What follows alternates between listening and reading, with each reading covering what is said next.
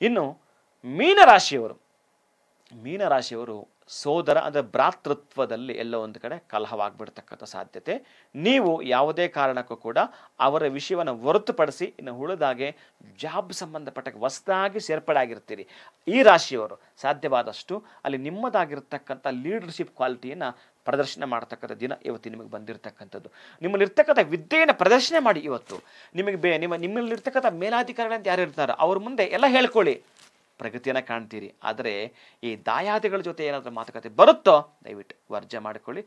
ಇವತ್ತು ನೀವು ವಿಶೇಷವಾಗಿ ದಕ್ಷಿಣಾಮೂರ್ತಿಯನ್ನು ಸ್ಮರಣೆ ಮಾಡಿಕೊಳ್ಳಿ, ಪ್ರಗತಿಯನ್ನು ಕಾಣ್ತೀರಿ. ಶುಭಂ ಭೂಯಾತ್, ಮಂಗಳವಾಗಲಿ.